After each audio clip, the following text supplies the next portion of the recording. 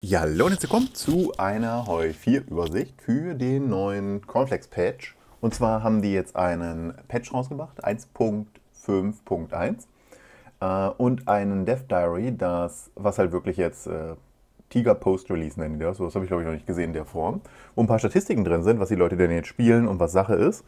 Und dann, bevor ich jetzt aber loslege in die Details davon reingehe, möchte ich die Gelegenheit nutzen und nochmal schnell Werbung machen für die Multiplayer-Runde, die heute Abend anläuft. Wir spielen ja die Heu 4 Multiplayer-Runde mit unseren eigenen Fraktionen, ne? ihr erinnert euch vielleicht. Das römische Imperium gegen das Kaiserreich der Hohenzollern, gegen die kommunistische Weltverschwörung, gegen das Nobunaga-Shogunat. Heute Abend geht's los. Äh, ich muss mal selbst auf die Uhr gucken. Um 19 Uhr bis 23 Uhr, also Freitag 19 Uhr bis 23 Uhr. Heute geht's los auf meinem Twitch-Kanal. Und Samstag geht es um 18 Uhr weiter und Sonntag geht es um 16 Uhr weiter. Wir haben letzte Woche schon eine andere Runde gespielt. Da waren mehrere hundert Zuschauer dabei live. Das war wirklich eine schöne Sache. Also auf dem Twitch-Kanal ist sie auch verlinkt unter dem Video. Ähm, das kommt dann. Hier könnt ihr noch die Fraktionen und die Sonderregeln angucken. Da habe ich noch andere Videos gemacht, die da mehr ins Detail gehen. Da könnt ihr einfach im Kanal mal wühlen gehen, wenn ihr da mehr Infos möchtet. So, das ist die eine Geschichte. Die andere Geschichte, da machen wir noch schnell, dann gehen wir in die Komplex-Geschichte hier vorne rein, ist... Ähm, ich habe jetzt hier durch Zufall entdeckt, dass die Spiele verschenken bei Twitch. Also wenn ihr ein, so wie ich das hier verstehe, wenn ihr ein Twitch-Abo macht irgendwo, also nicht wirklich das, wo ihr Geld für bezahlt, das wahrscheinlich auch, aber wenn ihr es über Amazon Prime macht und Amazon Prime macht ihr ja auf Amazon, ne, wenn ihr irgendwie schneller Sachen bestellen wollt oder so. Und selbst das ist sogar umsonst, wenn ihr Student seid. Äh, dann könnt ihr euch so, ich glaube für zwei Jahre oder so, kriegt ihr umsonst Amazon Prime, wenn ihr als Student euch dafür anmeldet, ohne Pfennig zu bezahlen. Zumindest war es in meiner Zeit damals so. Und wenn ihr das halt habt und dann bei Twitch eben äh, einen Kanal abonniert und dann kostet das halt nichts, weil das eben durch Prime schon abgedeckt ist, was halt eben umsonst sein kann, wenn ihr Student seid, dann kriegt ihr umsonst Spiele und nicht irgendwelche Schrottspiele, sondern zum Beispiel Shadow Tactics. Ich habe mir das zum Beispiel noch dieses, dieses letztes Jahr gekauft für 40 Euro. Ähm, also das ist ein ziemlich gutes Spiel, Shadow Tactics. Ihr kriegt also nicht nur Schrottspiele. Wenn ihr das noch bis zum 31. macht, dann kriegt ihr das zum Beispiel noch dabei und jeden Monat gibt es andere Spiele. Weiß gar nicht, äh, das März Genau, hier müsste auch im April gibt es zum Beispiel diese Spiele hier. Die sagen mir alle nichts vom Namen, jetzt ehrlich gesagt. Borderlands klingt aber nach so einem recht, äh, das ist doch dieses Actionspiel, oder? Ne, auf jeden Fall kriegt ihr das auch, zusätzlich dazu, dass ihr natürlich den Twitcher dann supportet. Also muss auch nicht bei mir sein, könnt ihr irgendjemand anklicken. Ich wollte darauf hinweisen, dass wenn ihr eh schon Amazon Prime habt oder eben das nicht habt, ein Student sein, das umsonst bekommen könnt, oder Schüler glaube ich auch, ne? dass ihr könnt euch haufenweise halt relativ gute Spiele damit holen. Würde ich halt darauf zurückgreifen. Würde ich nicht unver, äh, ungenutzt vergehen lassen. So, jetzt gehen wir mal in den Patch rein. Also, was haben wir hier vorne? Wir haben die, die machen wir erstmal die After-Dinger hier, das ist interessanter als der Patch. Die Patch-Notes habe ich schon gestern überflogen, da war eigentlich nichts Sinnvolles drin. Wir können gleich auch nochmal durchgehen, aber erstmal das hier. Also erstmal haben die gesagt, dass es, ähm, overall, the release has been very stable, haben die geschrieben. Das ist jetzt, also ich glaube langsam, die haben sich wirklich paradox genannt, weil ihre Aussagen paradox sind. Aber äh, sagen wir so, also very stable, das würde ja unterstellen im Vergleich zu anderen Releases wahrscheinlich, ne? Und very, was ist very stable? Also ich habe halt kleine Mini-Lags in dem Spiel. Im Multiplayer haben wir mehr Desyncs als sonst. Ähm, ist das very stable? Das Forum, das geht halt in die Barrikaden hoch wie bei keinem anderen ähm, Patch. Also und daher ist halt die Frage, ob die da nicht vielleicht ein bisschen geflunkert haben mit dem Begriff very stable, also sehr stabil. Ähm, könnte auch unterstellen, dass genau das eben nicht der Fall ist. Sie sprechen hier unten ein paar Sachen an. Ähm, Balance haben sie wohl geändert.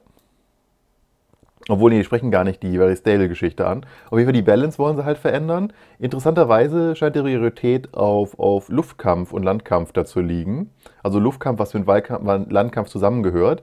Ähm, ich habe da jetzt eine ganze Menge Stunden da schon reingesetzt in die Version und ich sehe tatsächlich keinen großen, also ich sehe eigentlich gar keinen Unterschied, was sich da jetzt verändert haben soll, dass die das jetzt unbedingt ändern müssen. Ähm, wahrscheinlich, weil die Bomber Air Power geben, also im Sinne von, dass dann die Defense im Landkampf vor der, von den Divisionen runtergehen, eventuell. Aber war das vorher nicht auch so gewesen? Weil der hängt ja jetzt von diesem Air Superiority Value ab und den haben alle Flieger schon immer auf 1 gehabt, meines Wissens. Aber selbst dann, Lufthoheit ist Lufthoheit, ne? Die scouten ja dann auch. Also ich weiß nicht genau, was die da ändern wollen und warum das das absolut Wichtigste überhaupt ist. Warum es da keine anderen Baustellen gäbe. Ich hätte, ich könnte wahrscheinlich einen halben Tag eine Tafel voll schreiben, wenn die mich fragen würden, welche Baustellen interessanter wären. Und ich wüsste nicht mal, warum das überhaupt eine Baustelle ist. Na gut, äh, Desyncs im Multiplayer scheint aber nicht wichtig zu sein. Also nur 2% der Spiele, äh, Spieler haben wohl Desyncs-Probleme im Multiplayer. Wir haben jetzt tatsächlich letzte Woche hier aktiv Multiplayer gespielt mit, ich glaube, 36 Spielern zeitweise immer gleich. Und werden tatsächlich immer nur, also ein Desync immer nur bei bestimmten Personen. Und der kam auch nur bei diesen Personen. Und mein Verdacht da wäre auch tatsächlich, dass das bei dieser Person, also entweder hat er wirklich Pech gehabt oder dass er halt wirklich vergessen hatte, einen Mod auszumachen, der ihm irgendwie schönere Grafiken und so Scheiß gibt. Oder er hatte halt wirklich eine andere Sprache vielleicht als je gehabt. Das soll ja auch zu Desyncs führen angeblich. Aber eigentlich bei 36 Spielern haben wir gar keine Desyncs-Probleme, außer die, die wir am Anfang halt ne, nach 5 Minuten rausgekickt haben. Und das war halt immer nur einer pro Tag. Also von daher lief das wirklich sehr stabil und war kein Problem für uns. Ich weiß aber, dass das Forum absolut, also war halt voll, ne? die sind halt explodiert, die Leute, dass die alle Desyncs hatten. Äh, auch ein paar, die ich hier kannte, hatten Desyncs. Aber wie gesagt, in unserer Multiplayer 36 Mann, ne? einen raus, der das hatte und dann lief es stabil für alle ähm, weil es immer derselbe war, der das hatte. Also tatsächlich sehe ich das nicht, dass das ein Problem darstellt. Und die sagen ja auch so 2%, das würde ich ihnen sogar mal glauben.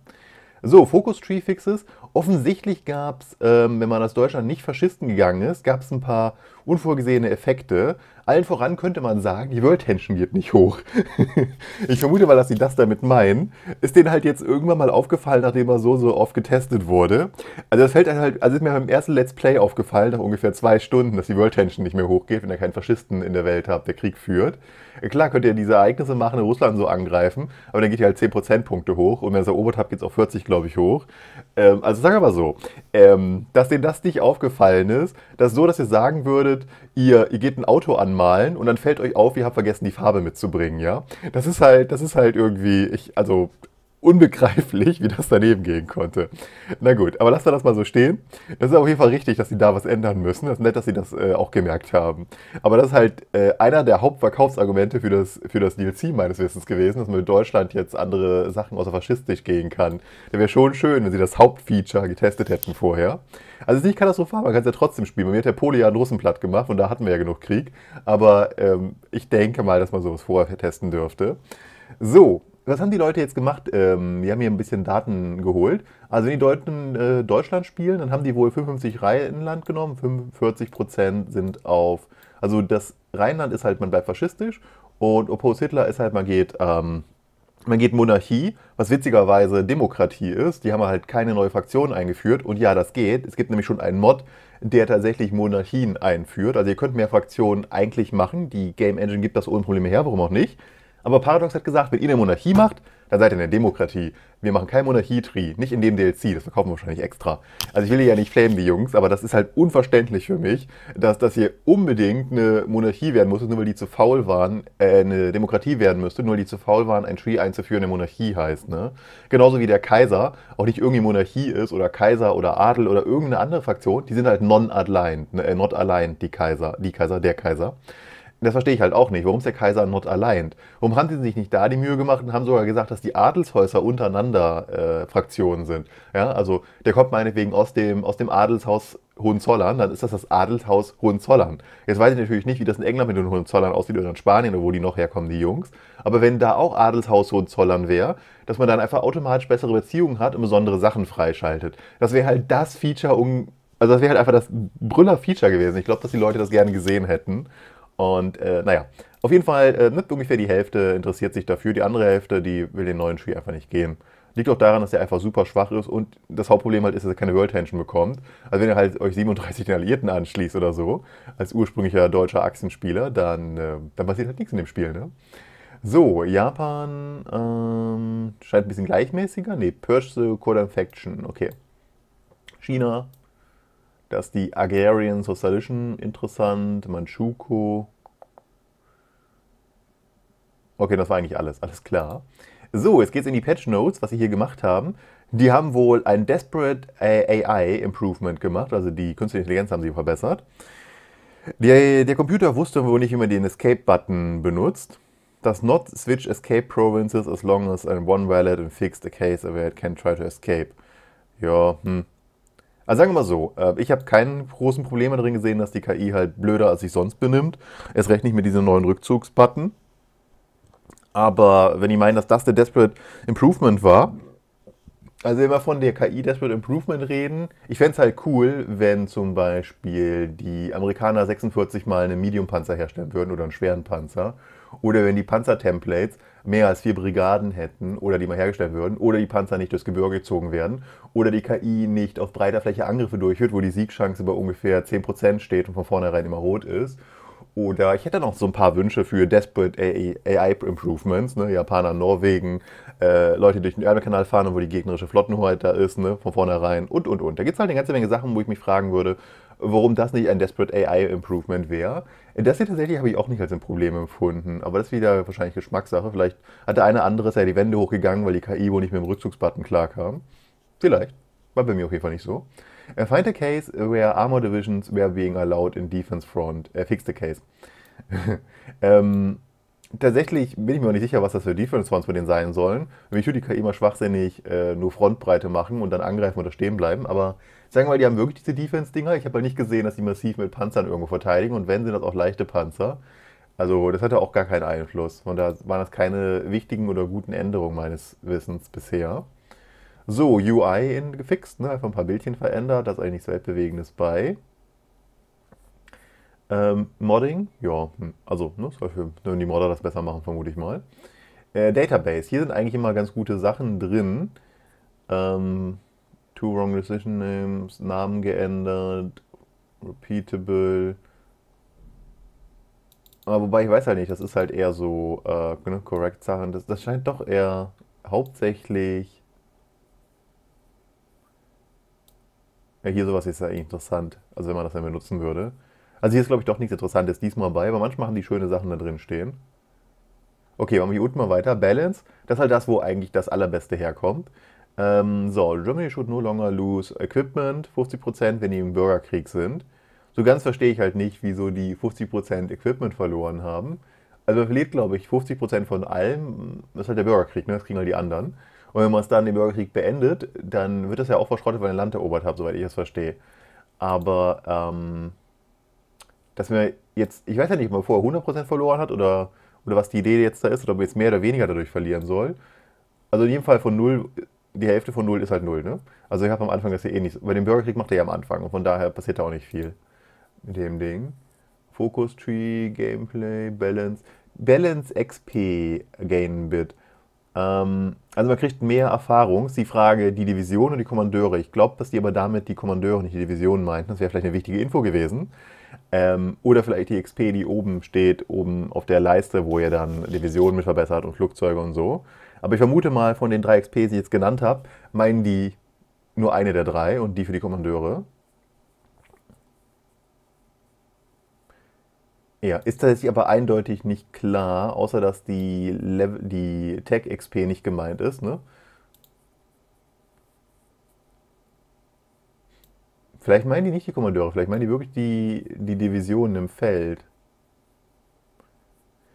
Und die man hinzufügen möchte, dass Flugzeuge keine Erfahrung sammeln, weil ich sehr komisch finde, weil Schiffe und Bodentruppen sammeln Erfahrung, nur Flugzeuge nicht. Wahrscheinlich wird es mit den Aces ausgeglichen ein bisschen. Aber ich denke mal, dass es auch immer, da könnten die mal dran arbeiten. Ne? Also es ist ja nicht so, dass die ganze Schwadron, einer von irgendwie 5000 Piloten, der einzige ist, der Erfahrung gesammelt hat und dann irgendwie 100% äh, besser im Schießen und Fliegen ist. Aber ja, hier ist auf jeden Fall nicht ganz eindeutig klar, wie ich das lese, was da los ist. Also was sie halt gebraucht hätten, was ultra wichtig gewesen wäre für Balancing, wäre halt das neue Erfahrungssystem für die, für die Generäle ne? und die Feldmarschale. Das, halt, das war von der Grundidee nett, in der Praxis aber völlig schwachsinnig. Also erstmal sammelt ihr nicht schnell genug und genug Erfahrung, dann, dann wird ein Großteil der Boni wird halt random vergeben. Diese drei Punkte bei den Skill werden random vergeben pro Level. Und dann, wenn ihr Erfahrung habt und ihr könnt die halt einen Trade geben, einen neuen, dann hängen die meisten Trades davon ab, dass ihr ein, ein Trade erst erlernen müsst im Feld. Also zum Beispiel könnt ihr wohl erst Artillerie-Spezialist werden, wenn ihr halt Dschungelkampf äh, vorher erlernt habt. Ne?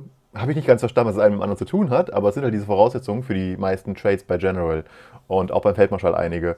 Und das ist halt besonders schwachsinnig, das Ganze, so dass ich mich halt erwische, dass ich bei, bei Multiplayer- und Singleplayer-Runden vielleicht ein, zweimal da reingegangen bin, in der gesamten Runde. Das ist ja nicht Hierarchie, wie wir das verstehen würden, ja.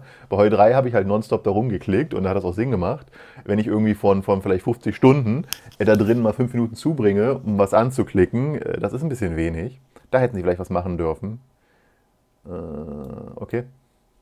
Und dann haben die wohl eine Milliarden Bugs gefunden. Ja, das ist aber, glaube ich, jetzt nichts bei, worüber wir sprechen müssten. Die Sache mit Bugs ist halt sowieso die Geschichte, ne? Ähm, immer wenn die sowas machen, Performance verbessern, Bugfix-Liste und so weiter, dann merke ich keinen Unterschied, außer dass es schlechter wird, wenn im besten Fall.